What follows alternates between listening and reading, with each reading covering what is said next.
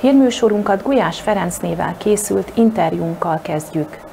A riportban kitérünk az idei év kihívásaira is.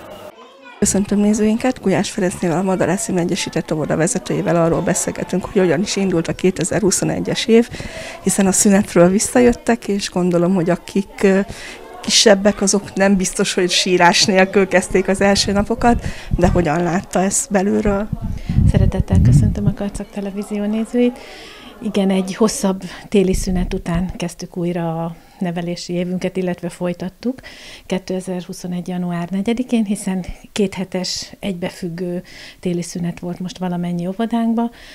Ebben az évben az ügyeleti ellátást nem igényelték a szülők a gyermekek részére, így január 4-én mondhatom azt, hogy majdnem teljes létszámmal, gyermeklétszámmal és nagy örömünkre teljes dolgozói létszámmal kezdtük a 2021-es évet.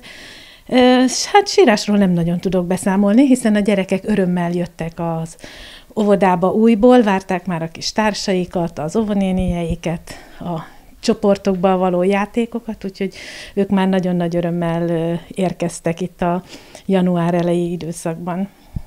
Gondolom, hogy készülnek a nagy rendezvényekre, amit eddig is sajnos szülők nélkül tudtak megtartani az, a tanév során, de mi lesz az az első olyan, ami minden csoportban meg fog valósulni? Igen, az intézményünk egy nagyon uh, nagy repertoárral rendelkező rendezvény sorozatokat szokott megvalósítani minden évben, uh, mind az óvodai csoportokban, a gyermekekkel tagovoda szinten, intézmény szintű rendezvényeink, szakmai programjaink. Hát most ezt úgy tűnik, hogy a pandémiás helyzet miatt ez még a következő hónapokban fönnáll, hogy ezeket szűkített formában tudjuk kisebb létszámú körben megvalósítani. Most ugye következik, elkezdődött a farsangi ünnepkör időszaka, és hát ugye erre készülnek majd az óvodai csoportok, de sajnos ezeket a programjainkat is valamennyit, addig, amíg ez a helyzet, a vírus helyzet nem fog változni és javulni, és nem fognak országos szinten is újabb intézkedéseket, enyhítő intézkedéseket hozni, addig. Ezek az intézkedéseink, amelyeket meghoztunk már szeptember, október, november hónapban, hiszen ezeket fokozatosan alakítottuk mi is a járványügyi helyzethez, ezek most fönnállnak, fönnmaradnak, ami azt jelenti, hogy valamennyi óvodai programunkat szülők nélkül valósítunk meg, minden megvalósul az óvodai csoportokban, csoportszinten, hiszen itt is nagyon figyelünk arra, hogy óvodán belül is minél kevesebb kontaktus legyen a gyermekek között, a felnőttek között, de csoportszinten mindent megvalósítunk, és hát ebben a formában a gyermekek számára élményt fog nyújtani, élményt jelent valamennyi programunk, nagyon gazdag szakmai tartalommal, csak hát sajnos ebből most a szülők és a szakmai partnereink ki fognak maradni. De hát azt gondolom, hogy az átcsoportban, ami eddig is működött a közösségi oldalon, azért ugyanúgy a szülőket is tájékoztatják fotókkal, kisebb videókkal, amit csak ők láthatnak. Így van, igen, valamennyi óvodánknak és csoportunknak vannak olyan felületei, ahol a szülőkkel kapcsolatban vannak a kolléganők, és itt a csoport életéről, az óvodának a belső tartalmi szakmai munkájáról van egyfajta folyamatos tájékoztatás, illetve hát a nyilvánosabb programja, programjainkról pedig az intézményünk honlapján is tájékoztatjuk a, a érdeklődőket. Megtörtént-e már a gyerekeknél az iskola érettség felmérése? Lehet-e már nagyjából tudni, hogy hányan maradnak, hányan mennek?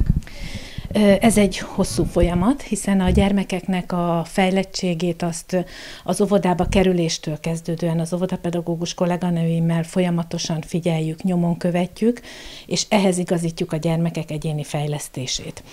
Na most ennek van egy dokumentációja is, és amikor ilyenkor ugye elérkezünk oda, hogy egy kisgyermek tankötelessé válik, betölti a hatodik életévét augusztus 31-ig, akkor ugye megnézzük azt, hogy ő valamennyi területen érette arra, hogy megkezdje az iskolai tanulmányait.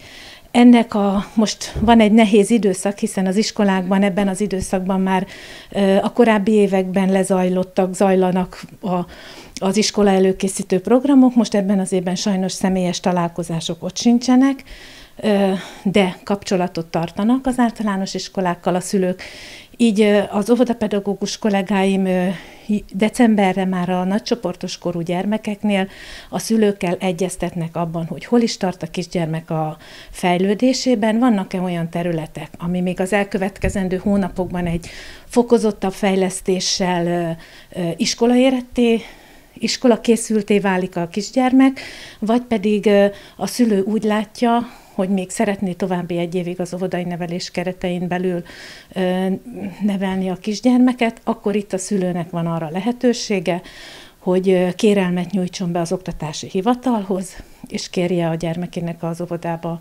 maradását. Jelenleg 210 körül van az a óvodás korú gyermekünk, akik elérik ebben az évben a tankötelezettségi kort. És hát gondolom ugyanilyen nehéz, vagy még nehezebb lesz a leendő óvodásoknak a felvétele, beiratása, hiszen ott még fontosabb lenne, hogy tudjanak találkozni a szülőkkel, meg a leendő kisóvisokkal is. E, igen, hát a, az elmúlt év, a 2020-as évben már a beiratkozás egy teljes külön eljárásrend szerint valósult meg.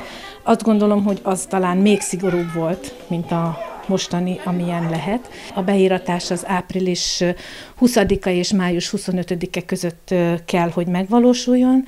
Én bízom abban, hogy addigra egy picit a járványügyi helyzet olyan formában lassul, hogy ez erre is nem csak egy administratív lehetőséget tudunk majd biztosítani, hanem akár személyes találkozásra is, de hát ez még hosszú hónapok vannak előttünk, amiben még nekünk magunknak is nagyon sokat kell tennünk azért, hogy a járványt fékezzük, lassítsuk, és minél előbb visszatérhessünk abba az életrendbe, abba az ütemrendbe, amit megszoktunk, amit szeretünk, hogy nem csak online találkozunk, online értekezleteket tartunk, a szülőkkel rövid ideig tudunk beszélni, hanem valóban hosszas, tartalmas szakmai és emberi megbeszéléseink lehetnek egymás között.